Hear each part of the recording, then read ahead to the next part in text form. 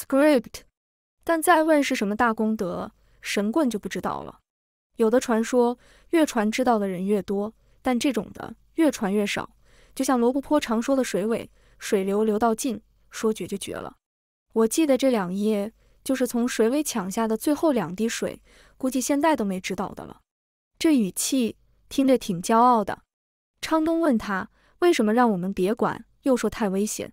神棍说：“首先没两把刷子，别碰这些事。”叶流西在边上哼了一声。其次有个说法说玉门关和阳关对生，本应叫阴关才对。那些披甲进关的人再无踪迹，其实是进关之后阴阳断绝，再也没有人能够出来。昌东说：“那皮影人。”神棍强调：“请注意我的重音落在这个人上。皮影人能叫人吗？关内的真人是出不来的。出关一步血流干呢。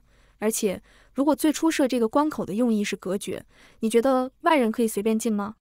哪怕是机缘巧合进去了，能出得来吗？反正我打听了那么久，从没听说过后来有谁再进去过。这说明有两个可能：要么进不去，要么进去了再没出来。”这还不危险吗？进去了就再也见不到朋友了。我可是有很多朋友的。肥唐在边上撇了下嘴，这人这么高冷又不讨喜，居然还自称有很多朋友。他的那些朋友也真是口味很重。神棍能提供的也就这么多了。我不认识你们，但既然通过柳七找到我，也算有点缘分。知道的都跟你们说了。我能问一下，你们想干什么吗？昌东没吭声。倒是叶流西忽然凑过来，字正腔圆进关。神棍说：“那怎么可能？”叶流西一手沁掉了电话。昌东和肥唐都看他。叶流西奇道：“干嘛？这人拽的二五八万的，我一听就烦。再说了，他不是说知道的都跟我们说了吗？肚里都没货了，还跟他废话干嘛？”昌东说：“你就这么确定，以后不会再要他帮忙了？”肥唐也紧张地盯着手机看。是啊，西姐，买卖不成仁义在呀，好不容易才通过我好友申请，别把我给踢了。叶流西说：“多大点事，申请个新号再加呗。”星号，星号，星号。继续上路，昌东一路都沉默。和丁柳他们重新会合之后，他放肥堂下车，然后和叶流西换座：“你帮忙开一段，我要想点事情。”叶流西坐上驾驶座，低头扣紧安全带，随口问了句：“开车不能想吗？”开车要专心，叶流西没敢提自己经常一边开车一边听戏，还同时忙东忙西的事，心里觉得他太死板。转念一想，又觉得这样的人挺给人安全感。黑色山茶这事真的挺毁昌东的，他其实足够仔细，一点都不大意，但估计洗不清了，不是因为没底气，而是因为那些对他口诛笔伐的人早不关心这事了。落井下石容易，只要扔块石头。捞起来却要弯腰涉水，所以很多人不捞，只当没扔过，反正有水盖着。叶流西叹气，手台里肥堂在放歌，自己还跟着哼。喜羊羊，美羊羊，别看我只是一只羊。叶流西没好气，妈的，把他从宠物狗往狼调教，现在才坦白自己是羊。昌东关掉手台，我说你听，不用看我，看路就好。叶流西斜瞥他一眼。我没准备看你，这路景单调，一成不变，看多了让人想打瞌睡。有人聊个天挺好，提神。我刚仔细想了想，柳七说的，还有神棍讲的，到了司马道，可能还不算进了玉门关。叶流西点头，他也有这感觉。那司马道算是什么？昌东说，古代想进个城，不是一推门就能进的，要爬金銮殿，还得走几十级台阶。司马道也许是进玉门关的必经之路，好比走廊、前院，说什么都好，总之是个界定模糊的过渡地带。记不记得肥唐上网搜过，有个偷拍你背影的自驾车司机，半夜上厕所的时候也被莫名其妙推了一下，按照时间推算，恰好是在你开着货车经过之后。叶流西有点回过味来了，也就是说，他之所以遇到怪事，是因为我在附近。昌东点头。确切地说，是因为你打开了风头。我们假设你每次进关都要经历血、风头、沙暴、司马道这几道固定的程序。血的味道在于吸引或者召唤，类似于叩门。风头生出沙暴，你注意到没有？哪怕你是白天流的血，沙暴也是晚上才发生。这其实是障眼法。黑夜的沙暴里，人很难看清，丢了人，丢了车，迷失了方向，发生了怪事，都好解释。那个鬼驼队在胡商的眼皮子底下一晃就没了，可不可以解释为风沙太大，那个胡商迷了下眼，或者低了下头？只这瞬间功夫，驼队进了关门。再说回玉门关，上次我们聊过，玉门关出现的时候。覆盖了现实世界的某些区域，类似两张胶片叠合在一起，难保有些人恰好就处在这个敏感的区域里，比如那个自驾车司机，再比如恰好和你一起扎营的我们。叶流西忽然想到了什么，肥唐被触手拖拽，那个司机被推，还有乔美娜的车门被拽开。昌东嗯了一声，像不像是某种保障机制，驱赶那些误入的人，让他们害怕离开，甚至口口相传。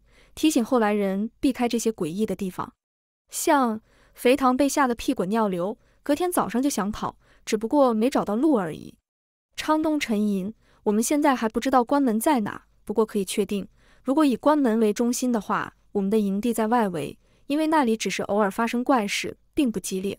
而司马道已经算是重要区域，那里埋着皮影关，还出现过奇怪的眼睛，只攻击我不攻击你。叶流嬉笑。因为我是关内人吧，不管是触手还是眼睛，都对我网开一面。昌东不置可否，还不能下断言。神棍说了，设置关口的用意是隔绝。歌谣里也说出关一步血流干。截止目前，关内出来的人，我们只知道皮影人。如果你真的是关内人，一定也很特殊。叶流西说，不一定啊，也许我是进化过的皮影人呢。今晚睡觉，我准许你看我。我也可以帮我看看，我是不是也成了衣服里硬纸板的牛皮人，眼珠子还会转？昌东说：“你应该不是。”叶流西瞥他：“为什么？皮影人不吃不喝还有钱，为人低调又内向，你哪条都对不上。”星号星号星号。下午，车进白龙堆，补给车确认了物资接收点的位置之后，掉头折返。昌东带队循着早已杂乱的折印，又进白龙堆腹地。丁柳第一次看到灰白色的魔鬼城，觉得满目莽莽苍苍，分外新奇，忙着自拍。拍完又跟高深发脾气：“怎么没信号？发不了朋友圈，随身 WiFi 呢，也用不了吗？”叶流西觉得高深真是上辈子欠丁柳的，陪着小新，再怎么被训斥都默默消化。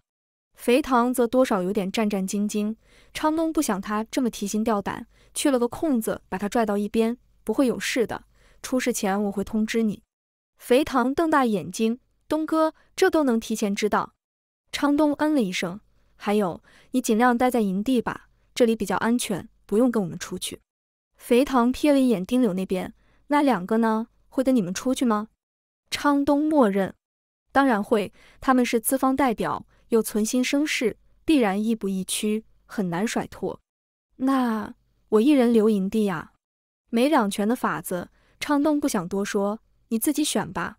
星号，星号，星号。三辆车虽然离得近，但泾渭分明两拨人。昌东这边捡石块垒火台生火做饭的时候，那头在吃饼干、牛肉干、喝啤酒，不说还以为来郊游的。吃完饭，肥唐坐在营地灯边看书。他事先知道进来会无聊，特意带了几本，密切结合这一趟的需要，什么中国古代金银首饰、民间服饰。汉唐西域与中国文明，昌东照例打开皮影戏箱，给已经坠结好的皮影人装干，这算是最后一道工序。装逼一挺干，这皮影人才算是活了。眼角余光瞥到叶流西过来，就知道势必又要被他挖苦。果然，为什么都是皮影人？刚刚那个杆装在脖子后面，这个要装在胸后面。昌东耐心解释，这个是旦角，杆装在胸后面，胸线会挺，更好看。但那个是生角，装在脖子后面，昂头，比较精神。都什么人就喜欢看女人挺胸？昌东因为男人挺胸不好看。叶流西忽然瞥到不远处的丁柳，低着头，像在玩手机游戏，但总忍不住看这头。他凑近昌东，我在这，小妹妹不好意思过来，我给你们挪地方。他拍拍屁股起身，转场去肥堂那待着。肥堂有点怵他，看书看得更认真了。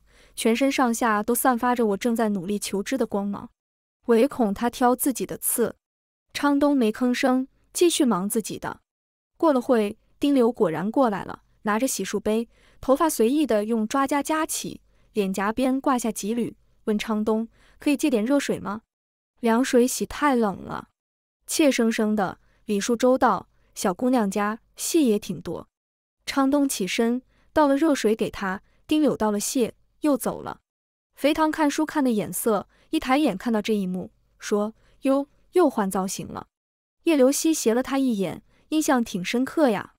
是啊，前后有反差，容易吸引人注意。开始狂野，然后学生妹，现在挺可爱的。其实西姐你也应该。叶流西阴恻恻的，应该什么？肥唐终于意识到说漏嘴，舌头有点撸不平了。换换点造型，会让人耳耳目一新。叶流西说：“我不用换造型，我亏就亏在长得美。换任何造型，人家都只会看到美，懂吗？”肥唐不敢说话，过了会抓牙杯。西姐，我出去洗漱了。他说什么就是什么。他是全国三届武术冠军，他美。西安还有文物鉴定评估委员会。叶流西瞪着肥唐走远，目光收回，看到昌东过来，手里还拿着抽血针头和胶管。妈的，又来抽他血，非得刁难他一下。昌东忽然扔了什么过来，叶流西抄手捞住。送到眼前一看，是丹丽装的和田红枣，个头有小鸡蛋大，暗红色的枣皮带光，应该是新枣，卖相好看，不皱疤。他眼皮微掀，干嘛？给你补点血。叶流西撕开包装，拿出来咬了一口，肉厚、瓷实、软甜里带香，于是把手递给他。